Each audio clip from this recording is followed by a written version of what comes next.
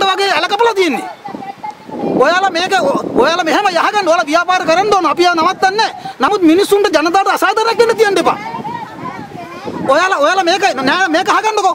හරි හරි මම දන්නවා. මට මේ මෙහෙමයි දේශපාලන පැත්තක් මට තියට නැහැ. මේගොල්ලෝ මේ ඉස්සන් කම්පැනි කාර්ය කරලා තියෙන්නේ ඒගොල්ලෝ මේ ගඟට අරින්න තියෙන වතුර ඒගොල්ලෝ ඒක වහලා මේ ගම මැද්දෙන් හරවලා තියෙන බටහිර පැත්තට වතුර බැස්මට.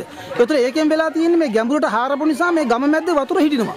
ඒ වතුර හිටපු නිසා තමයි මේ සම්පූර්ණ මේ ගමේ සම්පූර්ණ වතුර බොණ්ඩ බැරි තත්ත්වයට පත් වෙලා තියෙන්නේ. ඒ නිසා මේක කරන්න ඕනේ ඒ බටහිර පැත්තෙන් උස්සලා තියලා මේ නැගෙනහිර පැත්තෙන් වහන්න අරින්න ඕන.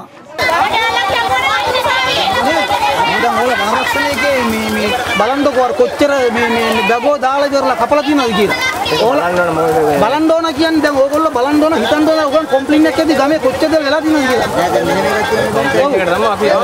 කොම්ප්ලේන් එක කියන්නේ මාස ගානක් කපලා ඉවරයි. රස තියෙන වතුර වල මේ කොණ්ඩයක් හොදන්න බෑ සබන් ගෑවෙන්නේ නැද්ද මොකක් හොදන්න බෑ තනිකර ලුණු රස තියෙන වතුර වල අර මූදුළු ඒ විදිහට වැඩි ඊට ලුණු වතුර වල මේ වගේ උනේ කවදා ඉඳන්ද?